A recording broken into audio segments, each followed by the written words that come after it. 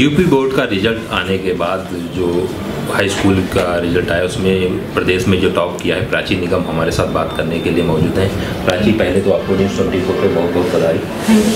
आप कैसा महसूस कर रही थी जब आपका रिज़ल्ट आया आप फ़र्स्ट आई हैं?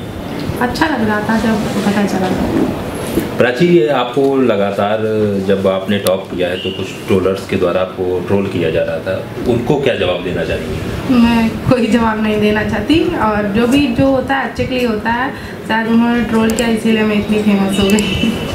प्राची जो आजकल की लड़कियाँ हैं कहीं ना कहीं अगर उनको ट्रो, ट्रोलर्स ट्रोल करते हैं या कहीं ना कहीं करियर पे भी कुछ असर पड़ता है या उसको दरकिनार करके आगे कुछ उनके लिए कुछ कहना चाहेंगे? जो अपने मन पे ले लेते हैं उनके लिए तो थोड़ा घातक हो जाता है, लेकिन मैंने इससे मुझे कोई फ़र्क ही नहीं पड़ रहा है। अभी भी मैं खुश हूँ और इसका ध्यान ही नहीं आता कि लोग मुझे क्या कहते हैं, जो लोग कहते हैं, जो अच्छा कहते हैं, उनको ध्यान रखिए कि अच्छे लोग भी हैं संसार में और आप अपने ड्रीम पर फोकस करिए, बस और कुछ नहीं।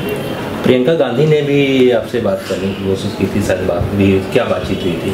मेरी बातचीत नहीं हुई और उन्होंने खाली तीस सेकंड पापा से बात की थी कि ट्रोलिंग के लेकर जो है ये ऐसी कोई बात नहीं है बच्चे से कहो पढ़ाई पे ध्यान दे। आगे भविष्य में प्राची क्या बनना चाहेंगी उसको लेकर के किस तरह से तैयारी चल रही है?